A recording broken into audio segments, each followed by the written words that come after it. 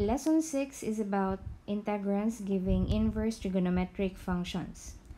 For example number 5, we are to evaluate the integral of 2x minus 3 all over x squared plus 8x plus 25 dx. So if we base it on these three formulas on the right, the only the only formula that does not have a square root or radical sign is n sub 2. But take note that the denominator has a pattern a squared plus u squared and in the numerator it's only 1. So first we try if we can simply use integration by substitution by letting u equals x squared plus 8x plus 25. So if u is equal to x squared plus 8x plus 25, then du is equal to 2x plus 8 dx. In the numerator, if we have 2x plus 8, then we can just integrate the given by substitution. Yes, we have 2x in the numerator, but it's a minus 3 and not a plus 8. So what do we do? We can rewrite our numerator as 2x plus 8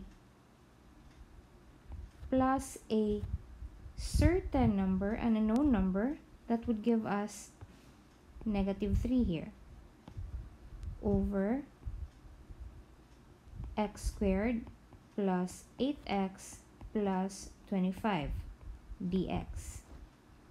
Now what do we add to 8 so that the resulting number would be negative 3?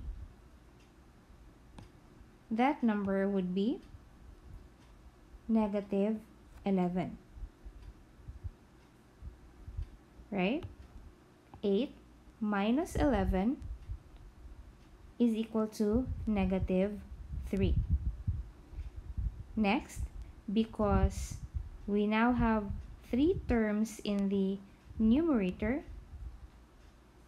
and if we just have 2x plus 8 in the numerator, we can perform integration by simple substitution, then we are going to separate this into, we are going to separate the given into two fractions. That's 2x plus 8 over x squared plus 8x plus 25 dx minus the integral of 11 over x squared plus 8x plus 25 dx. So for the first integral, we can now answer this, evaluate the integral by integration by substitution. And for the second integral, we can change this denominator into the form a squared plus u squared as in n sub 2. So this is now du, the integral of du over u. And as for this, we rewrite, we rewrite x squared plus 8x plus 25 as we perform completing the squared. So x squared plus 8x plus so again, to perform completing the square, so we divide the middle term by 2 and then we raise it to the power of 2. So this is 8 divided by 2, we get 4 and raise it to the power of 2, we get 16. So that's 16. But take note that it's 25 here, so there is still a missing 9. So plus 9. It's just that we are going to regroup it and then we factor it out. So that's x plus 4 quantity squared plus 3 squared.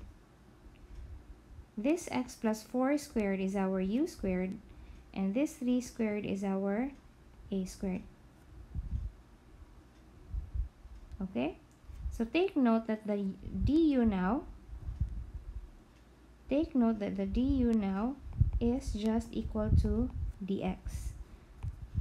So we can put 11 outside the integral sign and then we have 1 over, we rewrite this now as u squared plus 3 squared du.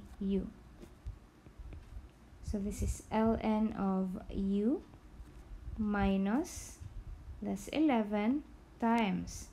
Following this formula, that's 1 over 3 arctangent of u over 3 plus c.